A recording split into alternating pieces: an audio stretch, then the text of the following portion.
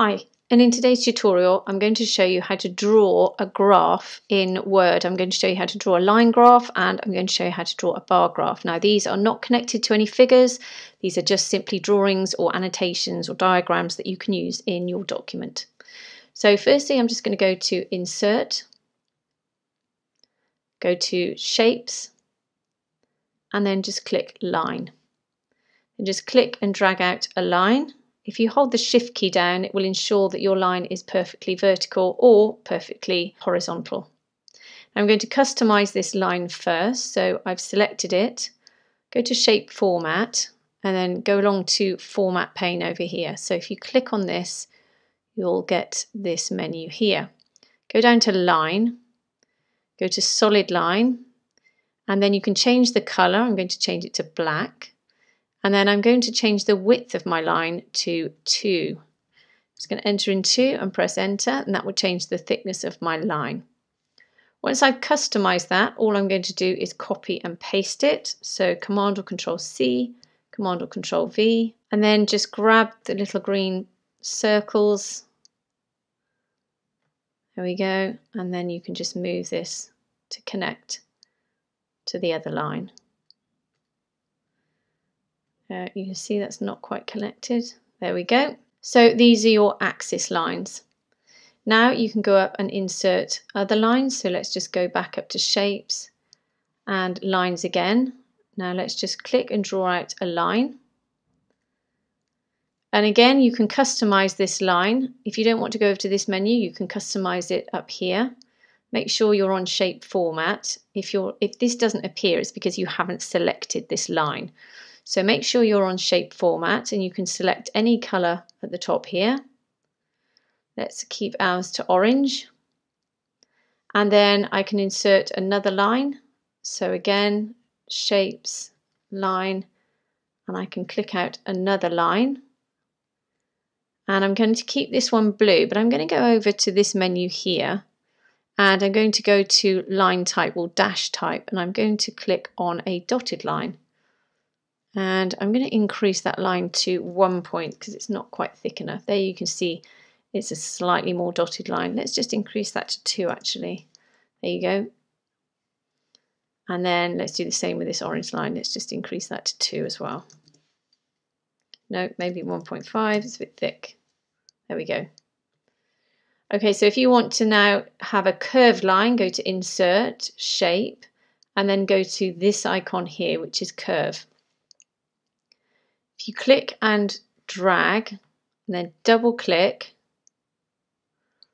and you can see sometimes it creates a little curve at the top here which you can't quite see. So go to shape format go along to edit shape click on the drop down and select edit points.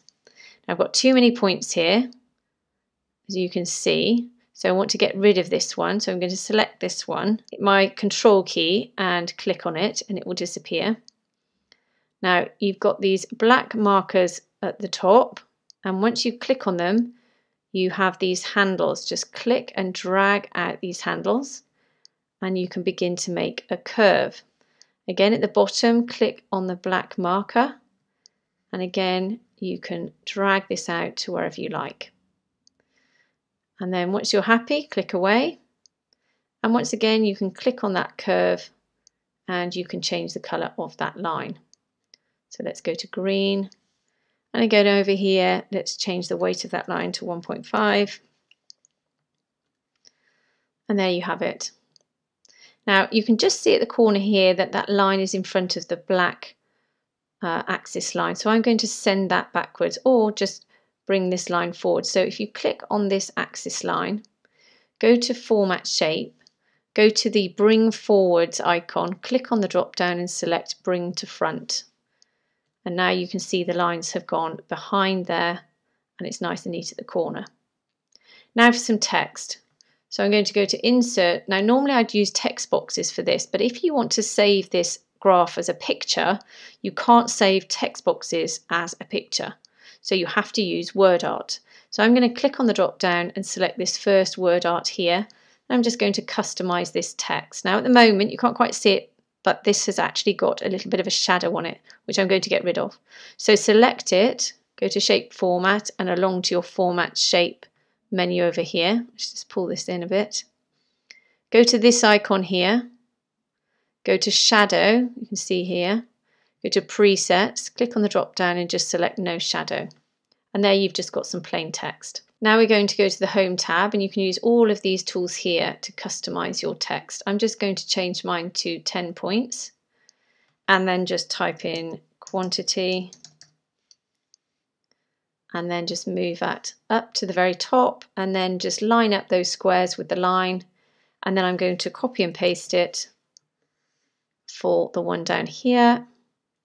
Double click and then just type time just use my arrow keys just to move this box down if you can't move it it might be because your cursor is inside the box just click off the box and back on and it should be fine Okay, I'm going to hold down my Alt key. This is a really quick way to copy and paste. I'm going to hold down my Alt key and just click and drag. It's just a really quick way of copy and pasting.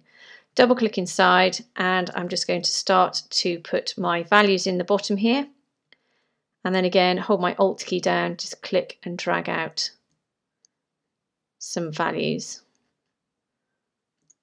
Okay, so I'm going to move this box to the end here. Don't worry too much about spacing them accurately because we're going to use an alignment tool which will sort that out. So double click inside and change the value. Once you've done that, select them all, hold down your command or control key whilst you click on each one. Go back to shape format, go to align, click on the drop down and go down to distribute horizontally and that will ensure they're equally spaced and then if you go up to the align tool again and just align to top then it all will be perfectly lined up. Now you can group them, which makes life a little easier because they won't be nudged. Right click on them, go down to group and then just select group. Now you can see that it's not quite straight here, so I'm just going to click on this line because the numbers will be straight, but this line's not quite straight. So I'm going to click on that, click on my shift key. Let's see if that's square now. Yeah, perfect. Okay, I'm going to select a text box again, hold my Alt key down, click and drag, and do that again.